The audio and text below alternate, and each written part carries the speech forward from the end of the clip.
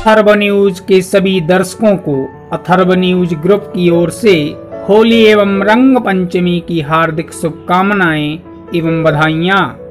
सौजन्य से Atharva News Group Sagar, Madhya Pradesh. आप सभी शहरवासियों को होली एवं रंग पंचमी की हार्दिक शुभकामनाएँ एवं बधाइयाँ। सौजन्य से अजय यादव, कृष्णगंज बाट, सागर, मध्य प्रदेश।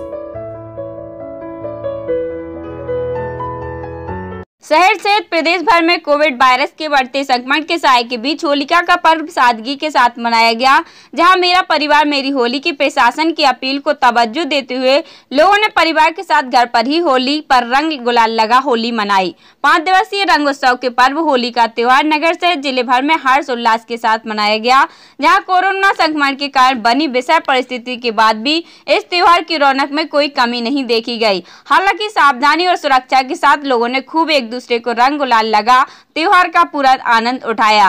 रंग गुलाल लगा, त्योहार का पूरा आनंद उठाया, साथ ही प्रशासन के द्वारा। इस बार होली होली मेरा घर, तर्ज पर सार्वजनिक रूप से होली नहीं मनाने की अपील की थी, जिसका असर भी देखा। जहाँ शहर में हर बार होली पर शहर की सड़कों पर घूमने वाले हुलियारों की टीम कम ही नज़र आई और लोगों ने अपने मोहल्ले पड़ोस में ही रंग गुलाल खेलकर होली का पूरा आनंद लिया।